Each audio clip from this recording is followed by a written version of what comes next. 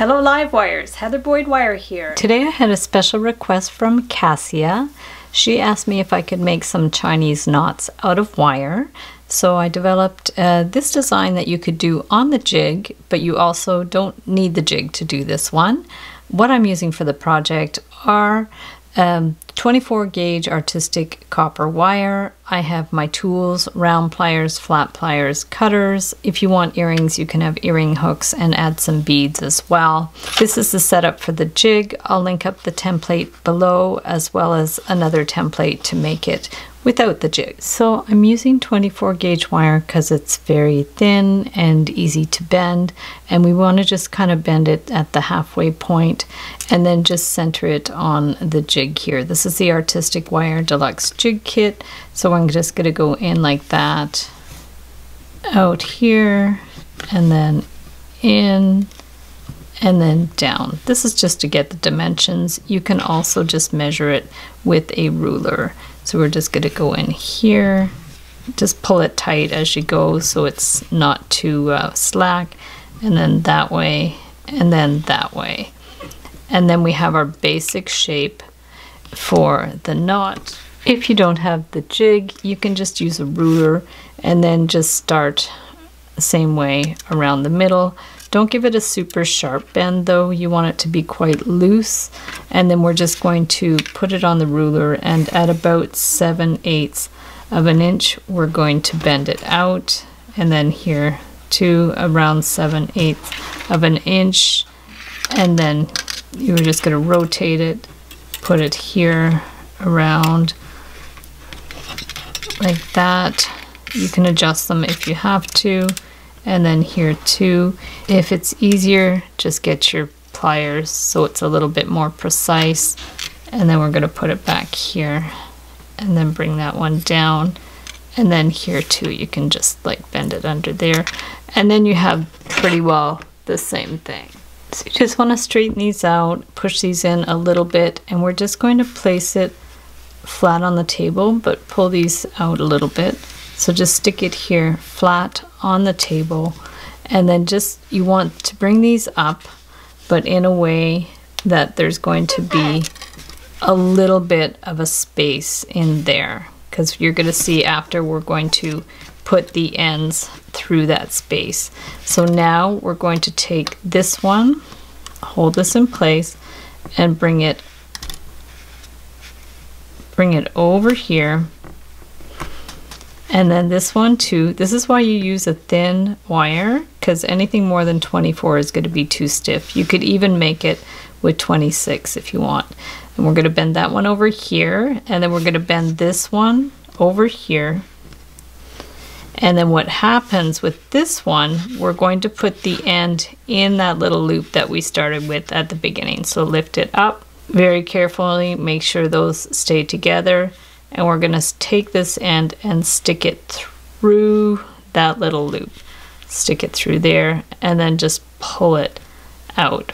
So it's very tricky to do with wire, but you just go slowly and then just pull these ends out as much as you can. So we've got the starting point and then if it helps just get your round pliers and give it a little tug. So there, hold that give it a little tug and then here hold that and give it a little tug so we have our kind of beginning part there you can see the knot coming along from there we'll put it back on the table keep the ends up here and this this loop is going to come over here so take this one and bring it around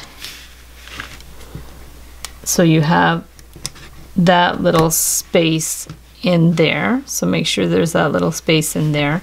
So that's there. And then hold that in place.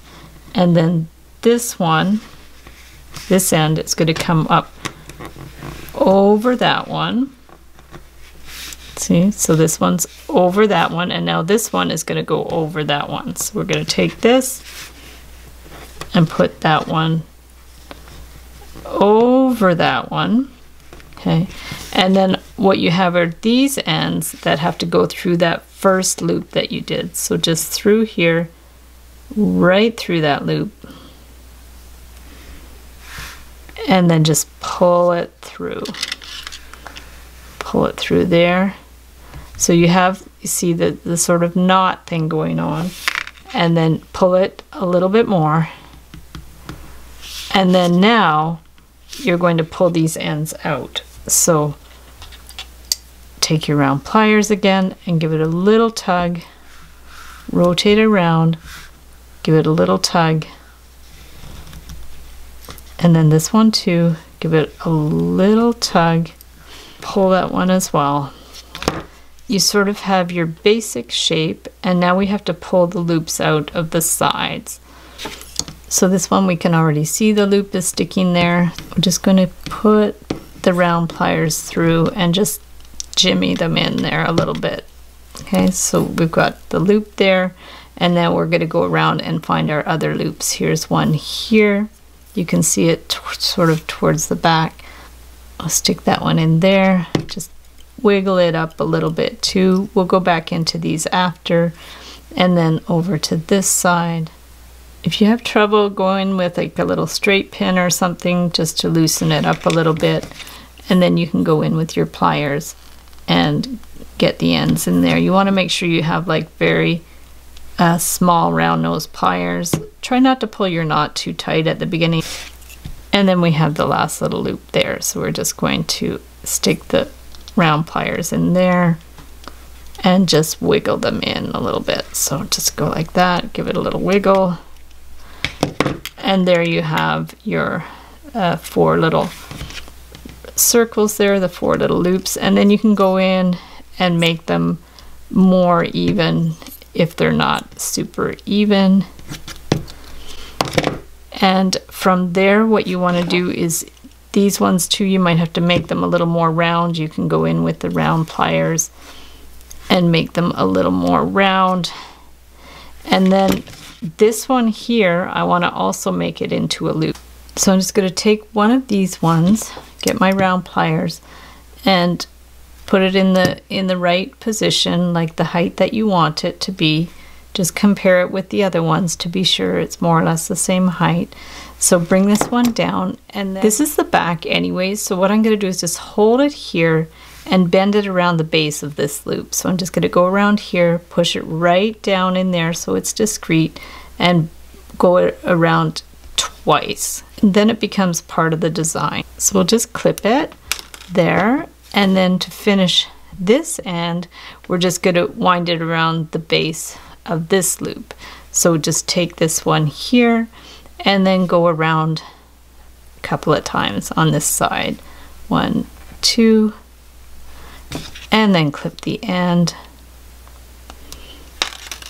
And then what you can do is just push those little sharp ends in and you'll see when you that's the back so there's a little line there but you won't see it because that's the back. And there you have this beautiful little knot. And if you want to make an earring just take a small piece of the same wire bend this out that way and around just around like that to make a loop.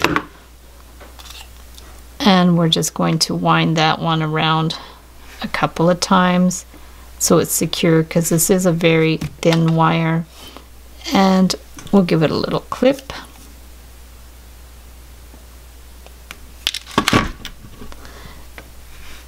And then we're going to take a little four millimeter bead. This is a miracle bead. We'll just stick it right on there. And then we want this to be uh, perpendicular so we're just going to bend this the opposite way that way. Make a loop just make our little loop around like that. And then we can put this one on there. So we're just going to stick that one right on there. Hold it with your pliers bend it around a couple of times make sure it's really solid. You could even use a slightly thicker wire if you want. For this part if you want to use a 22 gauge or something and there we have the with the bead on there and you can add a earring hook.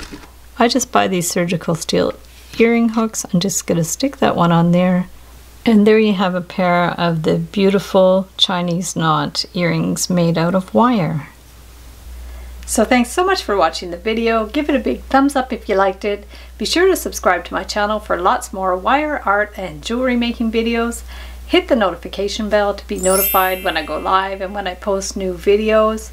And if you'd like to share photos of your wire art and jewelry, be sure to join the Wire Makers Club on Facebook.